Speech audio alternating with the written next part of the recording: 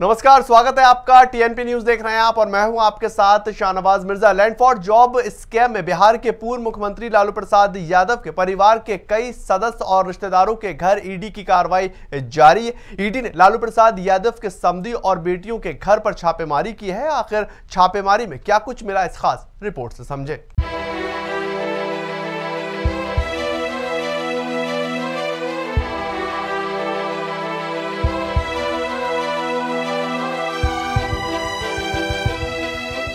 Land for job scam में लालू प्रसाद यादव की मुश्किलें लगातार बढ़ती हुई नज़र आ रही हैं। दरअसल, land for job scam case 14 साल पुराना है, जिसमें लालू प्रसाद यादव पर आरोप है कि नौकरी देने के एवज में लालू ने लोगों से ज़मीन अपने अपने रिश्तेदारों के नाम करवा ली थी। ये घोटाला उस वक्त का है जब लालू यादव रेल मंत्री हुआ करते थे। अब ये दावा है की लालू यादव ने रेल मंत्री रहते हुए ये पूरा घोटाला किया था। तो वहीं पर सीबीआई ने इस पूरे मामले को लेकर अठारह मई को केस दर्ज किया है। सीबीआई के मुताबिक लोगों को पहले रेलवे में ग्रुप डी के पदों पर सब्सिट्यूट के तौर पर भर्ती किया गया और जब उनके परिवार ने ज़मीन का सौदा किया, तब उन्हें रेगुलर कर दिया गया। सीबीआई का यह भी कहना है कि पटना में लालू यादव के परिवार ने एक दशमलव पाँच लाख वर्ग फीट ज़मीन पर कथित तौर पर कब्जा कर रखा। इन जमीनों का सौदा नगद में हुआ था।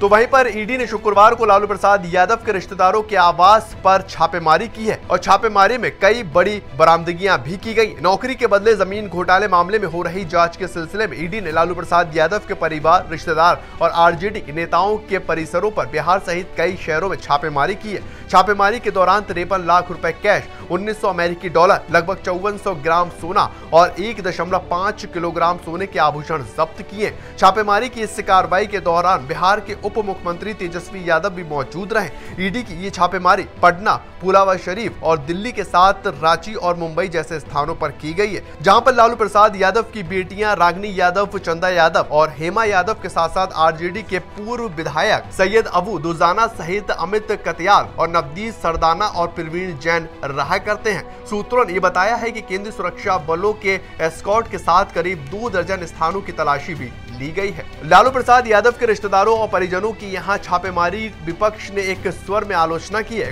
कांग्रेस के राष्ट्रीय अध्यक्ष मल्लिका अर्जुन खड़गे ने कहा कि पिछले 14 घंटे से मोदी जी ने बिहार के उप मुख्यमंत्री तेजस्वी यादव के घर पर ईडी की बैठक बैठा रखी है। उनकी गर्भवती पत्नी और बहनों को सताया जा रहा है। लालू प्रसाद यादव जी बुज़ुर्ग हैं, बीमार हैं, तब भी मोदी सरकार उनके प्रति मानवता नहीं दिखा रही। अब पानी सिर के ऊपर चला गया। मोदी सरकार, विपक्षी नेताओं पर ईडी और सीबीआई का दुरुपयोग कर लोकतंत्र की हत्या कर रही। बहरहाल, जाँच एजेंसियों की ये कार्रवाई कब खत्म होगी, ये तो आने वाला वक्त बताएगा। लेकिन एक बात ज़रूर है कि हर दिन लालू प्रसाद यादव जाँच एजेंसियों के शिकंजे में फंसते नज़र आ रहे हैं। Bureau report, TNP news.